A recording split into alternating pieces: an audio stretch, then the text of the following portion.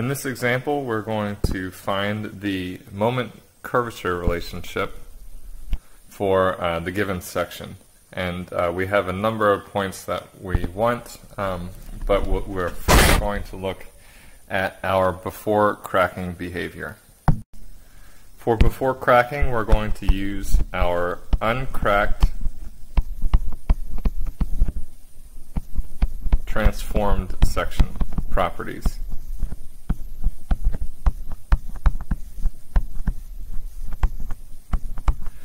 And in order to uh, find our uncracked transform section, we need our concrete modulus. And we'll need our modular ratio. So first our concrete modulus will be uh, 57,000 divided by 1,000 uh, pounds per kip times square root of 4,000 psi. And this will give us 3,600 ksi. Then we can find our modular ratio, which is equal to ES, our steel modulus over our concrete modulus. So we have 29,000 ksi for steel divided by 3600 for our concrete and we'll get a modular ratio of 8.1. With our modular ratio we can transform our section now. So we can transform our steel to equal AS times our modular ratio minus 1 and it's at a distance uh, d from the top and for all of our section properties we're going to measure y from the top. The first property we're going to find is our d or the depth of our steel. So the depth of our steel is our overall depth which is 20 inches minus our cover which is one and a half inches minus the diameter of our reinfor or our uh, ties, which are 3 eighths inch, and then minus half the, the diameter of our reinforcement. So 1 half times uh, 1 inch. And it'll give us a, a depth of 17.6 inches. Oops, sorry, inches. So the next property we can find is the area of our steel, which we have three number 8 bars, which are 0.79 square inches. And this will give us a total area of 2.37 square inches. We can then find the uh, centroid of our section.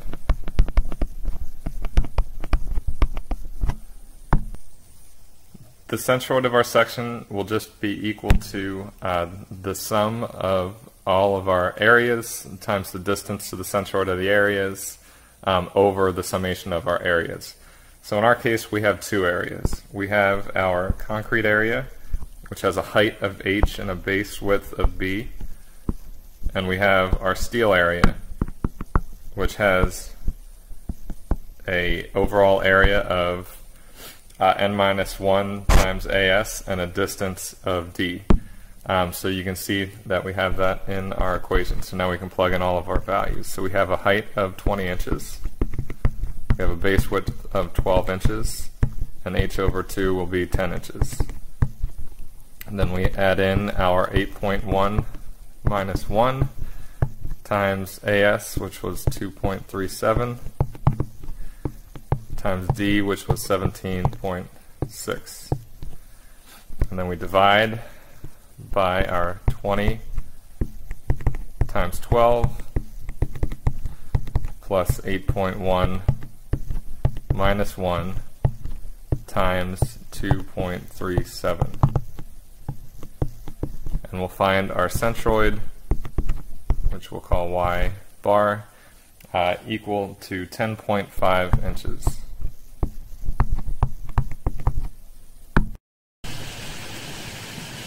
We now need to calculate our uncracked transformed moment of inertia.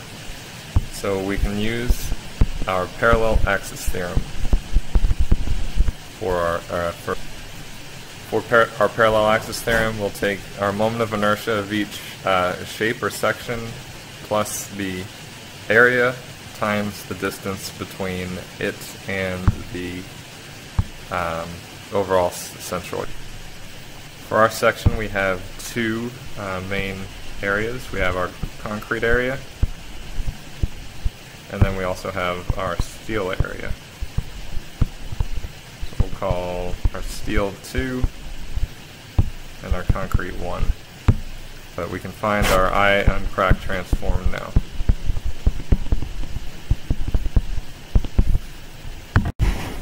So the moment of inertia of our rectangle will just be uh, bh cubed over 12. So we'll have our b is 12 inches, our h is 20 inches to the third divided by 12.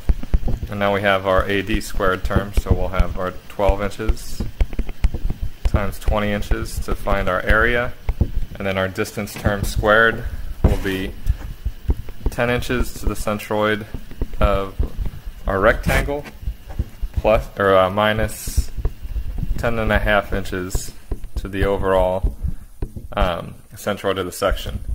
So then we can add in our steel components. We're going to uh, neglect the um, steel term, or the steel itself, and we'll just use the AD squared term. So we'll have our N minus 1 times our steel area times our distance term, which our distance term will be our D minus the centroid of the section squared. So solving this, uh, we'll find our I uncracked transformed to be about 8,900 inches to the fourth. We now have all of the uh, section properties that we need, so now we can calculate our cracking moment. So we'll calculate our cracking moment.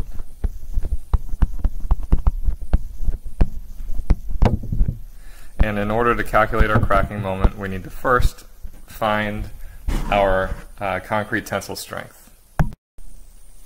Our concrete tensile strength uh, will take as 7.5 roots of F prime C. And for ACI, our uh, units are PSI, so we'll have 4,000 PSI. And find our cracking or our, our tensile strength to be 474 PSI. We can then find our uh, cracking moment using this expression and just plug in all of our values. So we'll have 474 psi for our tensile strength. Our I cracked or un uncracked transformed was 8,900 inches to the fourth. And the distance from the centroid to the bottom fiber of our section the point at which our section is going to crack is 20 minus 10 and a half inches. And this will give us a cracking uh, moment of 444.1 kip inches. After we divide by a thousand pounds per kip to uh, switch the units. We can next uh, find our curvature uh, immediately before cracking. Um, so we can use this by finding our, our strain at the bottom fiber and dividing by the distance from the centroid to the bottom fiber. Um, so in our case, we can uh, plug in all of our values. So we'll have 0.474 KSI as our cracking stress divided by our modulus, which was 3600 KSI. And then all of this divided by uh, our C, which is 20 inches minus 10.5 inches. And we'll find our curvature then to be 1.38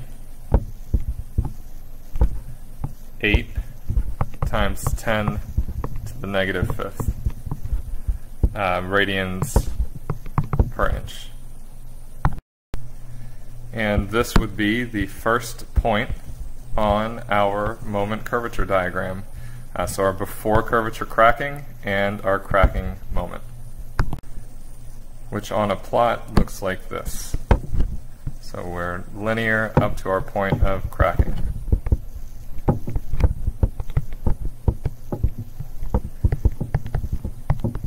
So in future videos, we're going to look at how to develop the rest of, the, of this curve.